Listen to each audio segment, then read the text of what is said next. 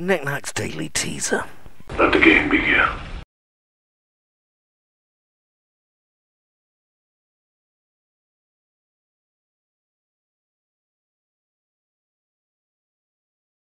Q1, 24th April, 1184 BC, is the traditional date of the fall of Troy, after a war between the Trojans and whom.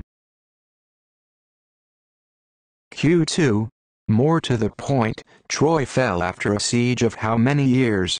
10, 15 or 20. Q3, Troy's enemies fooled the Trojans, and entered the city, hidden in a wooden wood. Q4, what was the name of the famous Greek poem about the Trojan War? Q5, who exactly wrote that poem? Q6, that poet wrote a follow-up, about whose adventures on his way home from the Trojan War.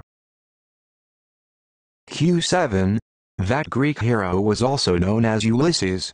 Ulysses was also the name of a novel by which Irish author.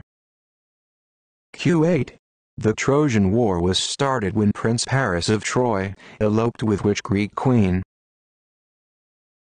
Q9, What's the name of William Shakespeare's play about the Trojan War? Q10.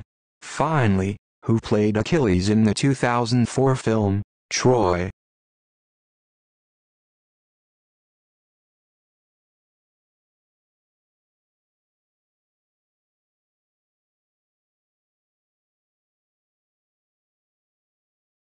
Questions said by Paul, Knickknack Downie and released under the Creative Commons Attribution Share Alike 3.0 unported license. Audio material and images are copyright of the respective owners. The presentation was written on a Mac Mini, with Mac OS 10.6.8, using iWorks 09 and iMovie 08.